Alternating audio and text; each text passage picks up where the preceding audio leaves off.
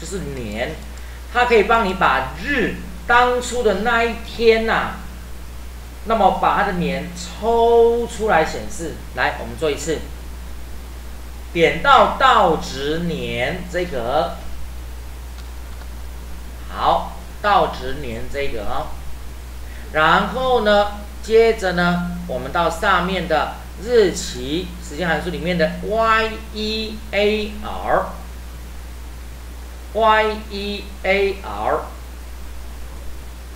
好，所以做函数还可以顺便学英文，哦，没错吧？哦，year 是年嘛，哈、哎，只要按确定就可以了。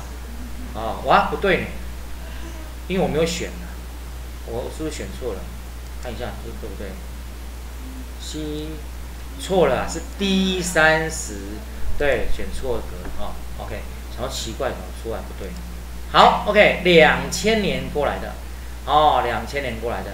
现在呢，我们呢右键点一下做复制，底下记得贴上公式，哦、这样就可以完成我们的目标。好，各位呢，那年都会做了，哦，这个年你会做了，往下看呐、那对各位来讲，哦，各位冰雪聪明，绝对没问题的。